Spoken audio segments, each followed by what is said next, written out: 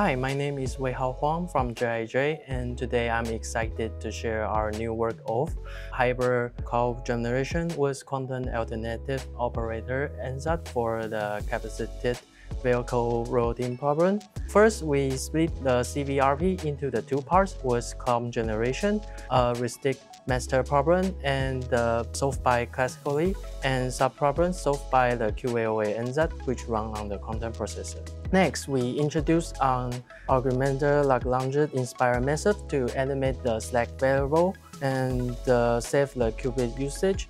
Finally, our customer mixer Hamiltonian enforce one hot constraint for the efficient search in the feasible solution space. This hybrid operator keeps high solution quality while reducing the number of the iteration in half compared to the original QAOA with CG.